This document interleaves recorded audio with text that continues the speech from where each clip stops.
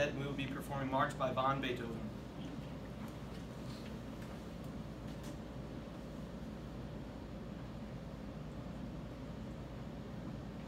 Thank you.